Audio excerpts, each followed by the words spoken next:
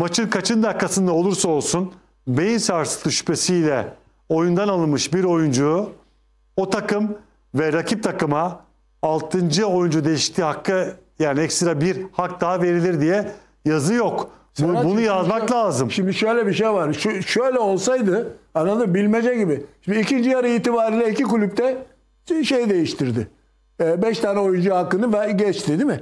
Bunda ondan sonraki periyotta bir beyin kanaması söz konusu olduğu Beyin zaman sarsıntısı. beyin Evet, sarsıntısı neyse Neyse, yani. evet. Bir olduğu zaman anladın mı? Nasıl hangi e, takımın e, oyuncusu beyin sarsıntısı geçirdi? Onun yerine anladın mı? Altıncıyı oynatabilirler. Dolayısıyla rakip takıma da avantaj olarak anladın mı? Avantaj bitmesin diye ona da bir hak verebilir. Ama sen Ben uygun bulmadım. Senin bu fikrin de bana bana ho- hoş geldi. Yani e, böyle olması lazım ama. Gidip de yani ama e, o 10. mağdur abi dakikada- Rize Spor mağdur. Galatasaray'ın burada bir mağduriyeti yok ki. Ya işte avantaj onlara avantaj sağlıyor gibi gösterip anladın mı? O diğerine de Bence bu hani- kural acilen revize edilip her iki takımın veya e, Benim dediğim gibi yapmalar lazım. İkinci yarı Oyun itibariyle değişti hakkı biten mi? takımlarda- İşte aynen öyle. e, hakem ve sağlık kurulunun sağ içinde verdiği rapor doğrusu bu ayak kırılma da olabilir. Çapraz bağları kopma olabilir. Nerede abicim yani? Hayır, sadece beyin sarsıntısı değil Ya bu. sedyeyle götürüldü, götürüldüyse Tabii ne, ne götürülse olsun yani. hakem de evet bu ağır bir olaydır. Evet tamam bitti. Tedbir amaçlı veya ameliyat için götürülüyordur. Evet. O zaman bu hak verilmesi lazım. Tamam seninkini de kabul ediyorum. İki tarafa da madem bu hak verirsin. Ama ortada fol yok, yumurta yok. Maçın başında oluyor bu olay. Yok bu bu biraz sakat. Ya, yapmışlar etmişler ama bilmiyorum ne çıkar ne çıkmaz. Anladın mı? İkinci yarı itibariyle tamam yani değiştirirsen 5 tane oyuncu değişikliği olur. Ondan sonraki periyotta hani Galatasaray'da bir tanesi bir oyuncunun biri anladın mı? Arkadaşlar siz de bakar çıkarsın. mısın? Ben bütün her yeri taradım. Ahmet bakar mısın sen de? Ee, böyle bir madde ekstra olarak koyulmuş mu? FIFA'nın bir tavsiye niteliğindeki e, bir uygulaması. Türkiye Futbol Federasyonu da bunu uygulayabilir ama burada bu e, travmanın ne zaman olduğu e, ve iki tarafa da bu hak tanınıyor mu diye e, Futbol Federasyonu'nun böyle bir iç talimatında böyle bir şey görmedim. Serhat şimdi Galatasaray 5-0 galip abi. Şimdi gidip de anladın mı?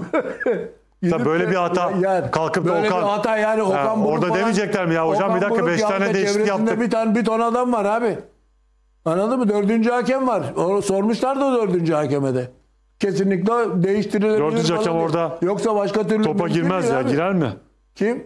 Dördüncü hakem orada. Girmesin abi. E futbol, yani o- Okan Buruk ya da yanında yardımcıları bir tane oy- şeyler o kenarda oyuncular falan var. Bilmiyorlar mı onlar neyin ne olduğunu? Gabriel Saray'ı Torreira ile beraber nasıl buldun? Şimdi iki müthiş gerçekten orta yaptı. Aldı tercih. Yani iyi orta yapıyor. Pasın şiddeti, topa vermiş olduğu kavis. Ga- e, Gabriel Sara. Gabriel Sara. Mükemmel bir sol ayağı var. Bak vuruş tekniği olağanüstü. Olağanüstü bir vuruş tekniği falan var. Yalnız zaman zaman pas atarken mesela takım ucuma çıkarken pas atarken o kadar labali paslar attı ki bugün e, hele ilk yarı ya olacak şey değil yani. Olacak şey değil. Bak, ka- kafayı yiyorsun abi. Yani bakıyorsun mükemmel sol ayak tamam.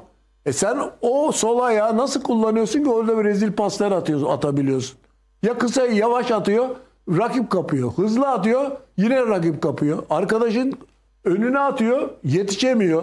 Yani nasıl bir pastır o anlayamıyorum yani ben. Tabii bütün pasları da değil yani. Biraz dikkat etmesi lazım. Yani burada tabii Okan Buruk'un da o kendisine Gabriel Saray'a da biraz şey çıkması lazım. Gel bakalım buraya ne, ne nasıl oynuyorsun falan gibi. Nasıl pat- pas atıyorsun gibi. Çünkü Galatasaray hani şey Rize Spor tamam. Anladım ne olursa olsun. Yani koşuyorlar ediyorlar falan tamam da. Ama Galatasaray takımı öyle değil. Dünya kadar para ödeniyor bunlara. Evet e, Osimhen'in ilk sözleri Hedef- hedef- geliyor. Hedef büyük yani. Forma için bir mücadele yok. Icardi bu oyunun efsanesi. Ee, Osimhen'in söylediği. Icardi bu oyunun efsanesi. Başşuay de ölümcül bir oyuncu. İkisinden de öğreneceğim şeyler var. Onlarla birlikte işbirliği yapacağız. Buraya gelirken de bu bana heyecan verdi. Süper Lig ve Avrupa Ligi'nde mücadele edeceğiz. Birbirimizi tamamlayacağımıza inanıyorum demiş. Osimhen'in sözleri devam ediyor. Golü ben attım sandım.